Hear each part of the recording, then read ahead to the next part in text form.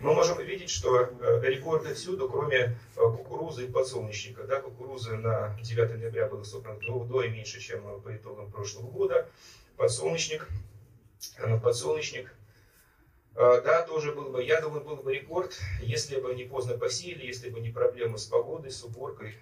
Вот в итоге получается 14,5. Это очень, как я понимаю, да, вот после еще будет одно выступление, в том числе с прогнозами, это не моя здесь стезя, ну, насколько я понимаю, то, что я здесь пишу, это очень консервативный такой прогноз. Значит, если у нас э, то, что происходит сейчас, э, большие проблемы э, с уборкой, это проблема с качеством, вопрос, куда все это можно будет использовать, даже то, что мы соберем, и часть площадей уберут весной, да, не с снега, а весной. Я там ставлю вопрос на слове уберут, после слова уберут, Почему? Потому что, коллеги, нет уверенности, что все это будет повсеместно сделано из-за низкой цены. Здесь э, представлены у нас э, здесь представлена оценочная рентабельность разных масличных по и внимание экономическим районам, да, по, то есть не по федеральным округам, это именно экономические районы, это градация принята еще в советское время, до сих пор формально действует. И в, этом, в этой логике Северный Кавказ, это вот мы сейчас с вами находимся, югу Северный Кавказ, это не только Ставрополь или Карачаево, там Черкесия, Республики, Закавказ, Республики Кавказ, да, это в том числе Краснодарский край. Да, и здесь мы видим, что по сути, в принципе, не такая высокая рентабельность, как повсеместно, ниже только в центре, это вообще не соевый регион. Ну а подсолнечник, он молодец, он приносит вам здесь южно-российским аграриям хорошую рентабельность, больше, ну, только там формально, да, плюс погрешность методики, но больше только в ЦЧР, но тоже, в принципе, сравним, 94%. Это тоже по данным Гинетек, которые опрашивают аграриев, они делятся своими данными по, по рентабельности. По-прежнему в этом году, в этом сезоне э, подсолнечник входит в топ самых коммерчески привлекательных культур, несмотря на просто э, запретительную экспортную регуляторику. Масло-жировое лобби добилось запретительных пошлин на, на вывоз масличных лишних аграриев экспортной альтернативы. Э, рынок масла-жировых продуктов – это типичная олигополия. Пожалуй, по степени экономической концентрации с масло-жировым рынком можно сравнить только сахарный. У нас с вами на агрохолдинге, да, так скажем, на крупных аграрных, я больше так люблю говорить, крупных аграрных операторов приходится, по данным Центра агроаналитики Минсельхоза России, 61% всей выручки. И данные, вот я нашел последний по 2019 году, где, например, э, э, еще отдельно заявлены холдинг солнечные продукты, поглощенные э, группой Русагра, ну теперь вы можете вот э, розовую долю Русагра и желтую долю сложных продуктов сплюсовать. Да, грубо так и понять, что эта концентрация еще больше выросла. Рынка еще один игрок, ушел. Ну и поэтому, конечно, еще раз повторюсь, это типичное олигополия, что не очень хорошо для сельхозпроизводителей, которые не обладают, да, они очень дисперсны и не, обладают схожей рыночной силой, но это факт нашего рынка, сложившийся не, не, не в последние годы. Несколько слов от рынка, как меня попросили 2022 года. Мы пережили не только пики цен, когда началась СВО, и мы исходили из того, все эксперты, из того, что ну, в ближайшие полгода Россия и Украина вообще ничего не поставлять не будут. Это оказалось не так. Просто изменилась, изменилась логистика. Но вот, э, после этого мы пережили в силу мировых тенденций, да, которые я, возможно, тоже позже скажу, если будет время, если будет вам интересно, грандиозное падение цен на все зерновые масличные. Цена сейчас не очень хорошая, в том числе на соевое масло. С, в июле, вот я и делал предыдущую презентацию для коллег Агрохим, в июле ему как раз показывал цены, и я только сейчас я не буду грузить цифрами, так как очень много да? Я помню, что на тот момент, вот, вот по июлю, по итогам июля, я посмотрел, были самые низкие цены на подсолнечник э, за два года, за последних, э, в рублях. А, а на масло минимальное за полтора года, именно мировые цены. Но мы же привязаны к мировым ценам, да, поэтому тоже с вами зависим. Факторы, почему падает, почему падаем, понятно. Сильный рубль, очень большие запасы. Примерно, мы, кстати, вошли на рынок, э, э, мы вошли в сезон, который, напомню, масличный начинается сезон не 1 июля, а 1 сентября. Мы вошли с рекордными, с переходящими запасами, примерно 1,3 миллиона тонн. Очень высокое давление на рынок. Ну вот еще раз скажу, падение цены, это э, дешевеет пальмовое масло, соя, то есть так называемые продукты субститута маркетмейкера, от которых уже зависит подсолнечник. Потому что мы всегда идем в цене даже как вот цена нашей нефти Юруса идет за ценой нефти бренд, да, бренд минус минус там такой-то дисконт. То же самое, пример с посылщиком происходит. Ну и нефтяные распродажи тоже имеют значение, потому что я вначале говорил, что э, и то, и другое это комодити товары, и корреляция цен э, между ними всегда имеет место быть. Не могут одни расти, другие падать, во всяком случае, в среднесрочной перспективе. Крайне тяжелые условия уборки, уже упомянутые пошлины, э, пошлины и демпферный механизм регулирования. Отдельный тренд, возможно, это интересно, в прошлом году мы только об этом и говорили, в принципе, устойчивое развитие про все. К сожалению, в этом году вынуждены говорить про, про какие-то вопросы выживания, но тем не менее никуда ничего не делать. Введение квот на, на импорт семян, это, это вообще большая боль. А, да, надо защищать российский рынок. Однако напомню, что глобальные компании работают не только там на кого-то или против кого-то. У всех своя игра, но они работают на весь мир. Они тратят огромные деньги на R&D или научно-исследовательские работы, на НИОКа. И разрабатывают не, не только там семена или а, препараты, пестициды, они разрабатывают современные технологии, чтобы продавать их всему миру. То есть быстро повторить то же самое мы с вами в пределах одной страны не сможем. Вывод, вывод э, сорта семян на рынок это 12 лет не меньше. Мощности переработки в России превышают возможности сельхозпроизводителей. Сейчас, я напомню, они загружены на, 20, э, на, 8, на 80%, и наши МЭЗы в состоянии переработать 29 миллионов тонн всех видов масличных. И, и продолжают строиться новые, реконструируются существующие МЭЗы, но э, я смотрю сейчас вот просто компания Кразик, большая часть новых проектов этих заводов сориентированы не на подсолнечник, а на сою. Ну и плюс, э, если только действующие игроки расширяют мощности, то они делают ставку уже не просто на подсолнечник, а на второй, третий предел. Не просто там, масло, жмых и шрот. Это уже мало денег приносит. То есть вот э, они уже э, стараются перерабатывать, как, например, делает даже, как вообще, мне кажется, идеальная компания с точки зрения подхода к портфолио, к ассортименту. Вот, что еще? Ну, вот я считаю вероятно, что сейчас маржа низкая, но она растет с тех минимумов, которые мы видели в целом по рынку российскому в ноябре, октябре. Почему отрастет маржа? Я объясню, что ведь по, по мы видим рекордно высокую доходность у переработчиков, хотя они в это не признаются. Мы видим, что мировые цены на масла сейчас скорее подрастают, чем падают, и этот тренд с каким-то лагом перегрузится в сырье. Ну вот и есть надежда на робкий свет в конце тоннеля, и, и на этом на этом фоне э, соя и рапс, не, не столько подслончик, сколько соя и рапс, особенно соя, хорошо тем, что у них, у нее есть такой мощный боковик в виде поддержки со стороны животноводства. Соевый жмых, соевый шрота, э, особенно шрота, он хорошо используется в животноводстве, и часто мне говорят сельхозпроизводители, что не продажа самой сои, там, да, а если вот э, они могут продавать шрот, он приносит наибольшую доходность, поддерживая общую рентабельность. А чем же российский рынок семян подсолнечника и продуктов переработки характеризуется? А, первое – это дальнейшим расширением посевных площадей в 2022 году. А, как видно из слайда, площади выросли более чем до 10 миллионов гектар. Это вообще абсолютный рекорд для России. Ну, мы смотрим, да, динамика с 90-го года, ну, чтобы было видно, как было там, при Советском Союзе, говоря, да, на самом таком его пике сельскохозяйства, и как, как сейчас стало. То есть там получается, что практически пять раз выросли площади. Это еще только площади выросли, а как урожайность выросла, это еще более ощутимо. А, по отношению к прошлому году площади возросли на 3%, около 3% просто. И расширение площадей произошло главным образом за счет Приволжского, Уральского, Южного а, федеральных округов. При этом в Центральном федеральном округе, а, ну вот структура да, площадей по округам, в Центральном федеральном округе, где а, отмечается наибольшая урожайность, площади сократились.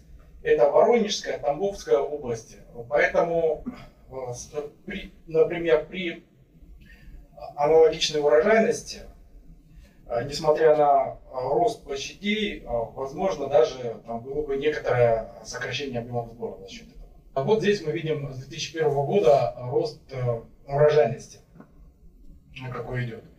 Если, конечно, по годам смотреть, где-то волатильность, если возьмем там среднегодовые показатели по десятилеткам, то там будет вообще явно видно, что прогресс, то есть э, внедрение передовых технологий, процесс производства, он явно налицо как семена для посева да, развивается семеноводство, э, техника, технологии,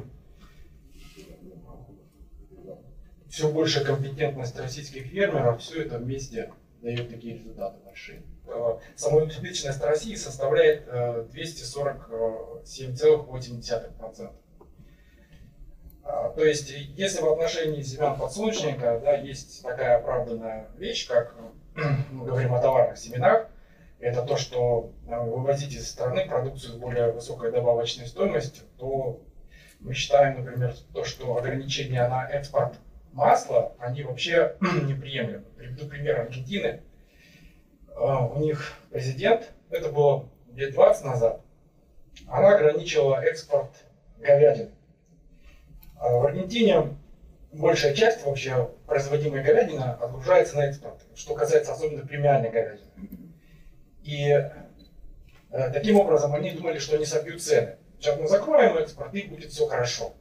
В итоге фермеры зарезали скот, который там поголовье до сих пор не восстановилось по некоторым породам, и переключились на выращивание сои. То есть хотели сделать низкие цены на внутреннем рынке, перекрыли экспорт, уничтожили отрасль, получили более высокие цены через год. По мировым ценам здесь по октябрь э, тренд также понижательный. Мы видим, особенно просело за год пальмоядровое, пальмовое масло, кокосовое, соевое, наоборот, в мире выросло. А подсолнечное, если год к году, ну, незначительное снижение.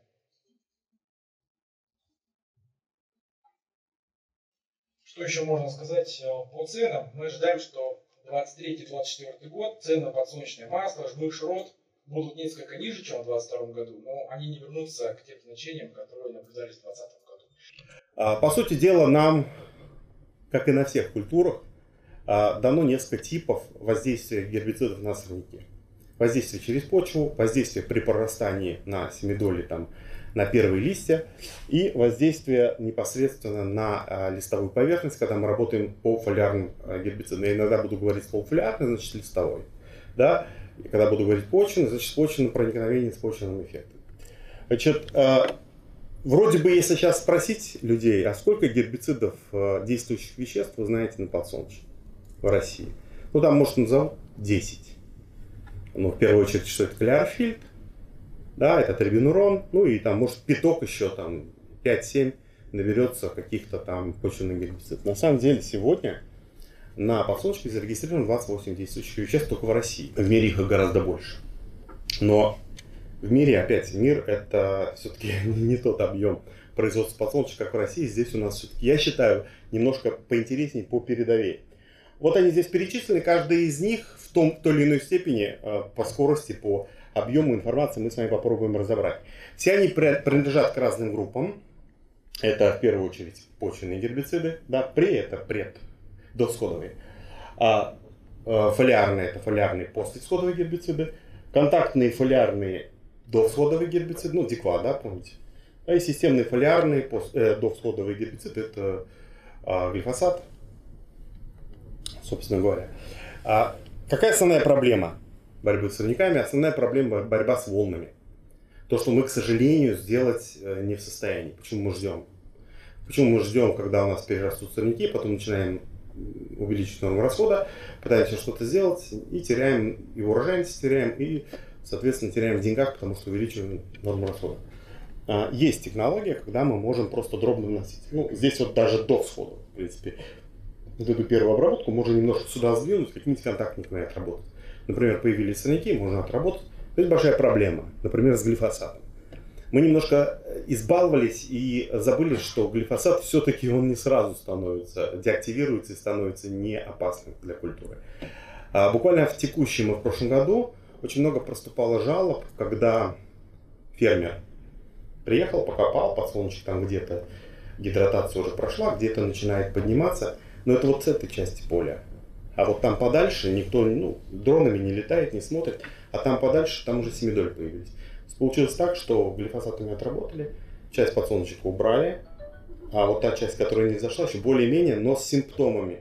То есть глифосат все равно проник, и он тоже начал работать. Это тоже не очень хорошо то здесь есть опасность, тем более, если после применения глифосата выпал дождь, это самая, наверное, такая серьезная опасность. Поэтому глифосат здесь, наверное, противопоказан, но есть э, другая группа препаратов контактных, дикват, э, глюфосинат аммония, а в Америке дополнительно еще используется карфентразон этил и сульфентразон.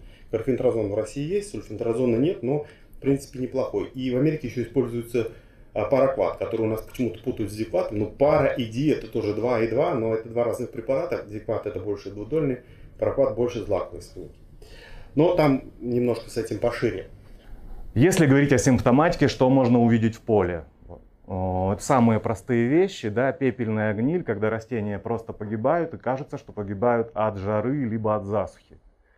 Вот. А пепельная гниль, у нее вот такой характерный симптом, это наличие микросклероции в паренхиме стебля. Естественно, эта вещь уже не лечится. Естественно, поражается еще и кукуруза, еще и соя. А если нет севооборота, это вообще прекрасная вещь. У вас всегда будет пепельная гниль, потом будете рассказывать всем, что э, гибрид у вас не засухоустойчив. И начинается длинная история картинок про то, чем милдью точно не является. Да, это вот то, что или снос, или мамой клянусь, мы мыли опрыскиватель, или э, ну, ступили чуть-чуть, да.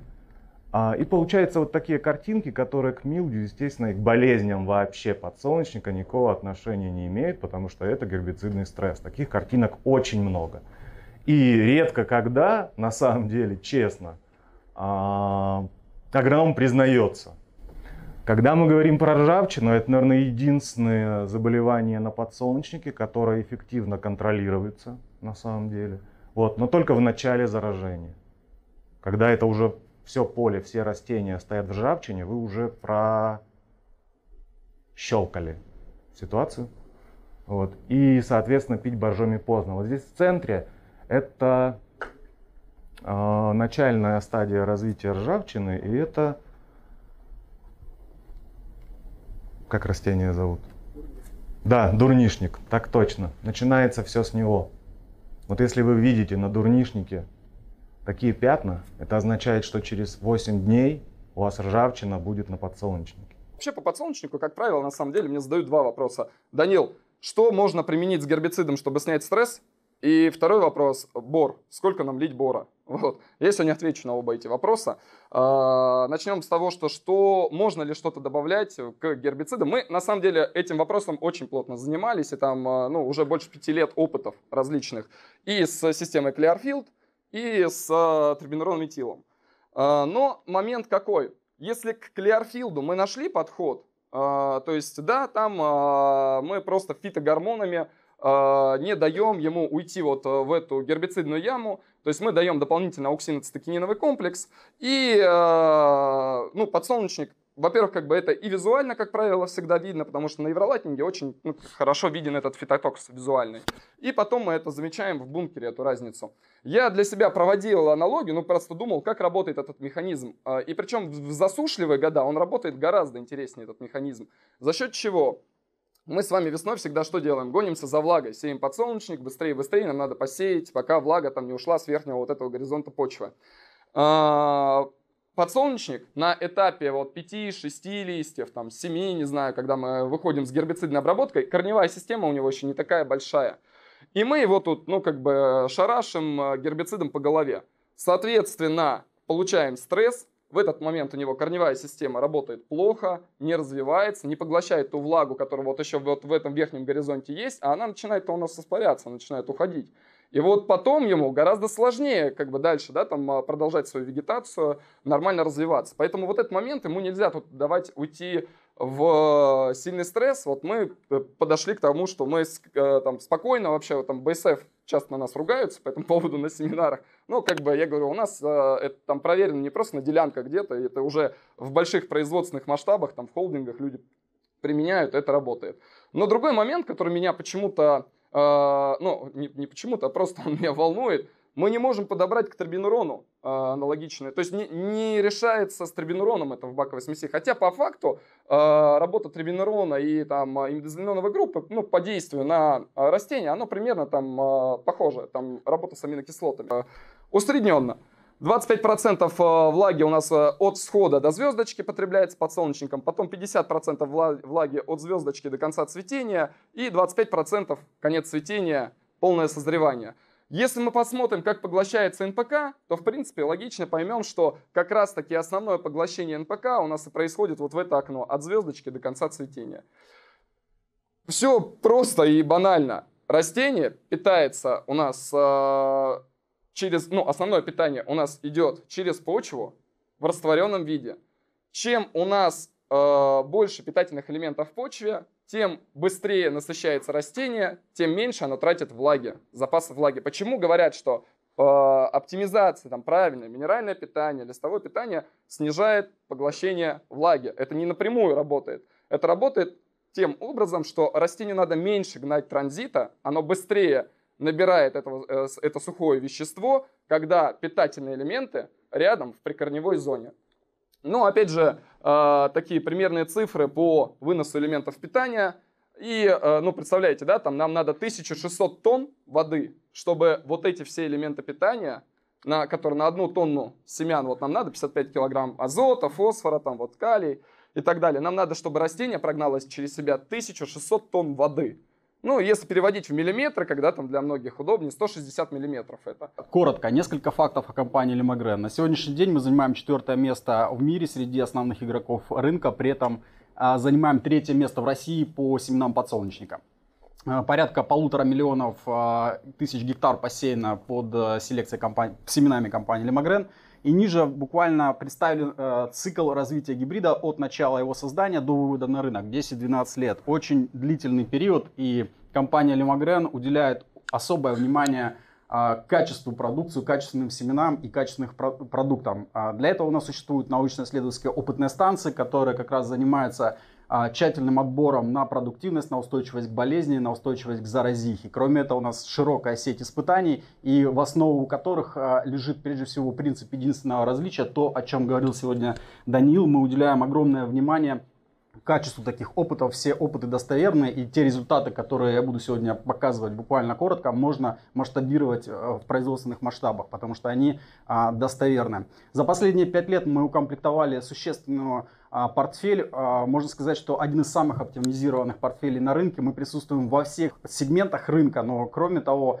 у нас есть а, так называемые лидеры в каждом из сегментах. Ну, как вы знаете, гибрид, например, Тунка в классике, 59580 э, в технологии TMT, 4 пятерки в Clearfield Plus. То есть это важно, что у нас есть э, бестселлеры, и мы продолжаем наращивать такую линейку делаем на них ставку. Ну и, собственно, в ближайшей перспективе а, мы а, увеличиваем портфель именно гербицидоустойчивых технологичных продуктов. И уже в 2023 году доля таких э, гибридов в портфеле компании будет занимать более 70%.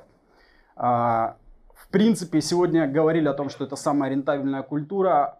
Проблемы есть э, с э, давлением сорны, сорняков, да, сорной растительностью, с болезнями, с минеральным питанием. И все это должно быть в комплексе, чтобы как раз таки то, о чем говорили ребята, сохранить потенциал сохранить потенциал гибрида – это а, основная задача. А, коротко, поднимите руку, кто не знает проблему развития заразихи в России. Все знают, все слышали, э, мы в том числе уделяем это большое внимание, мы отслеживаем, какие а, расы заразихи в регионах развиваются, и порядка 35% на сегодняшний день в России подвержены заражению более агрессивными, высоковирулентными расами, такими как раса F и раса G. А, у компании Limagren существует специальный селекционный проект, направленный именно на борьбу с этой проблемой, на борьбу с заразихой. А, проект называется Saneo, и в рамках данного проекта мы отбираем лучшие засухоустойчивые генотипы, устойчивые к заразихе, то есть, соответственно, в этих продуктах, под, продуктов под этим лейблом а, максимальная устойчивость к этой к этому растению-паразиту. И, и э, это технологии, технологии Clearfield, Clearfield Plus. Ну, в ближайшей перспективе мы делаем ставку именно на продукты э, для Clearfield Plus технологии. Как это работает, да, если вы выращиваете неустойчивый или, ну, будем говорить, пятирасовый гибрид, да, то у, у сельхозтоваропроизводителей а, существует задача тянуть, грубо говоря, дело в одну либо другую сторону, либо максимально эффективно побороться против сорной растительности в оптимальные фазы, либо а, работать э, этими же препаратами против заразихи, но тогда нужно выбирать более позднюю а, стадию развития подсолнечника и а, высокие дозировки препарата. А, в случае выбора а, наших гибридов данный компромисс уже найден. То есть у нас а, осуществляется защита против заразихи на генетическом уровне. Как это выглядит в полях, можно видеть на данном фото. Гибрид неустойчив к заразихе даже э, до момента обработки. Да, уже пошел процесс поражения корневой системы и образования гаустори. Даже если мы обработали гербицидным препаратом, а, гаустори на корневой системе отмирает. Ну, во-первых, уже нанесен а, вред этой корневой системе, системе а во-вторых, самая основная проблема – это поздняя атака заразихи.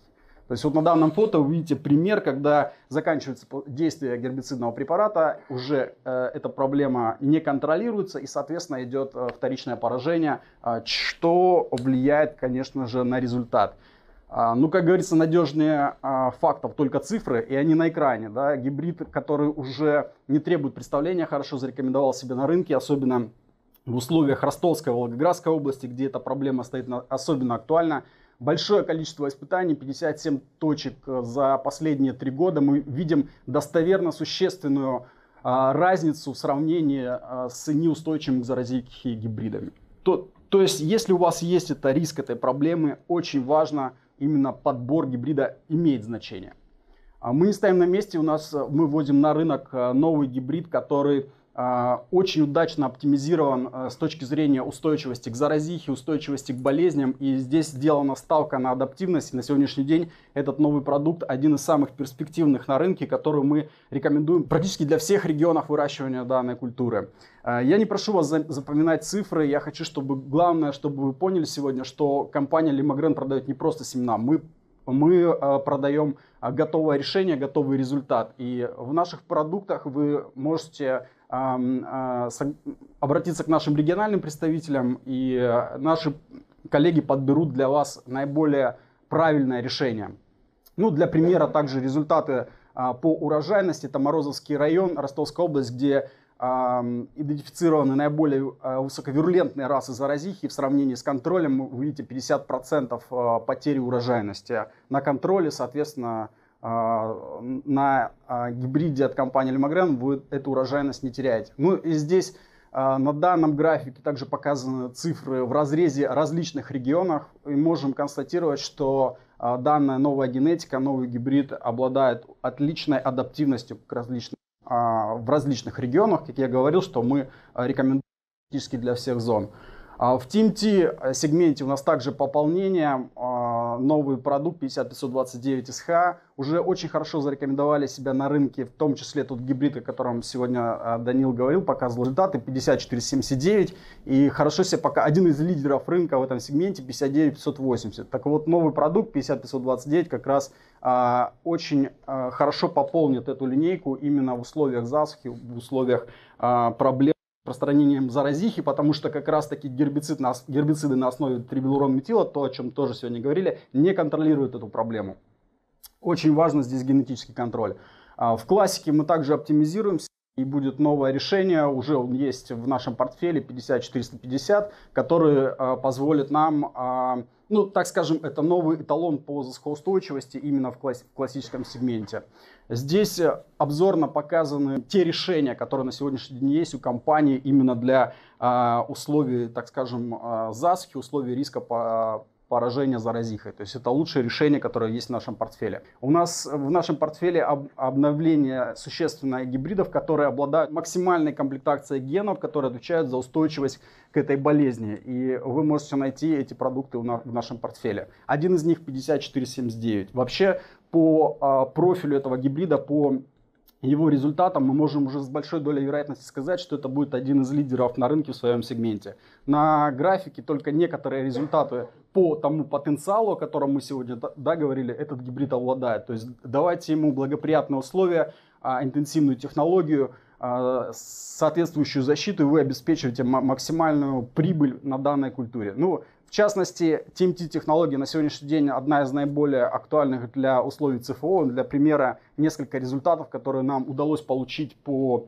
результатам уборки. А, в этом году это довольно сложно, тем не менее, видите, что в разрезе также регионов а, гибрид обладает очень высоким потенциалом. Вверху звездочка это средняя урожайность по опыту, то есть везде была существенная разница. А те рекомендации, которые мы делаем, они достаточно важны, потому что, на, например, на четырех пятерках мы не рекомендуем загущать. То есть этот гибрид обладает очень хорошей компенсационной способностью, его не нужно загущать. И лучше, ну, вы видите, что разницы между 60 и 50 тысячами на гектар э, норме высева не было. Э, но а, была экономия на семенах, соответственно, порядка, а, у меня закончилось время, порядка тысячи рублей. То есть это как раз таки поможет э, это поможет как бы сэкономить тоже на, на том же фунгициде для этого гибрида. То есть сэкономьте на семенах, но купите, э, включайте в схему, систему защиты фунгицид против ржавчины. То есть это экономически выгодно.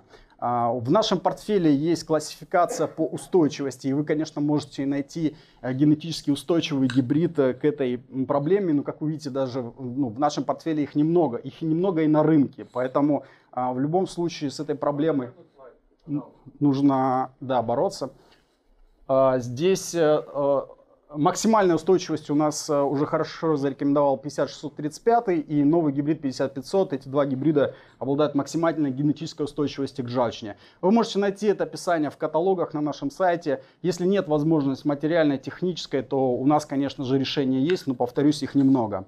Ну, на примере 50635, гибрид, который обладает максимально устойчивой по ржавчине, видите, что э, работа фунгицидным препаратом ничего не дала. То есть здесь ему не требуется эта защита, и в данном случае даже мы немного увеличили влажность. Ну, вот можно сказать о том, что э, препараты э, компании Полидона не работают, потому что уже на втором гибриде видите прибавку по маслу.